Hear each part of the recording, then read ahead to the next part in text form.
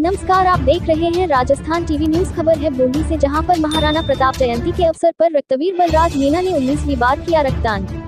मानव सेवा समिति के राष्ट्रीय अध्यक्ष राजेश खोईवाल ने बताया कि राजस्थान के वीर शिरोमणि मेवाड़ की धरा के वीर सपूत महाराणा प्रताप की जयंती पर मानव सेवा समिति द्वारा चलाए जा रहे रक्तदान महादान अभियान के तहत कार्यकर्ताओं द्वारा बूंदी बल बैंक पहुंचकर समिति के रक्तवीर बलराज मीना ने उन्नीसवीं बार स्वैच्छिक रक्तदान किया। रक्तदान कर बलराज मीना ने महाराणा प्रताप की जीवनी आरोप प्रकाश डाला।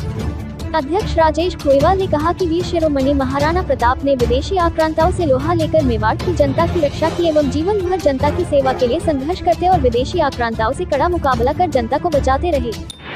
आज महाराणा प्रताप जयंती के अवसर पर बूंदी के रक्तवीर बलराज मीणा बूंदी ब्लड पहुँचे हैं और उन्नीसवीं बार स्वैच्छिक रक्तदान कर युवाओं को जागृत करने के लिए इन्होंने ये संदेश दिया है। कि अपनी शादी की सालगिरह पर वैवाहिक वर्षगांठ पर या जन्मदिन पर या किसी भी खुशी के मौके पर या अपने प्रियजनों की पुण्यतिथि पर, जयंती पर रक्तदान कर खुशी मनाए, उनको श्रद्धांजलि दें।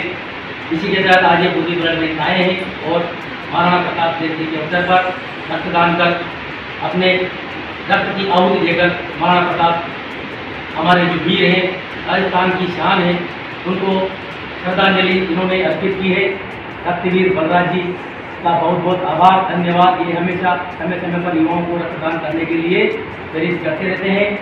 मानव सेवा समिति रक्तदान महादान अभियान के तहत अब तक हज़ारों यूनिट रक्तदान पूरे राजस्थान में किया जा चुका है और आगे भी यह मुहिम जारी रहेगी। इसके तहत युवाओं से अपील है कि अठारह वर्ष पूर्ण करते ही स्वैच्छिक रक्तदान करने के लिए हमसे संपर्क करें एवं हर तीन माह में रक्तदान ज़रूर करें। आपके द्वारा किया गया रक्तदान किसी अनजान को जीवन दान देता है, क्योंकि समय पर किसी मरीज़ को रक्त मिले, इसके लिए युवाओं को आगे आकर सुरक्षित रक्तदान करना अति आवश्यक है। कभी किसी अनजान मरीज़ का या दुर्घटना में घायल मरीज़ का समय पर रक्त उपलब्ध करवाकर हम जीवन बचा सकते हैं।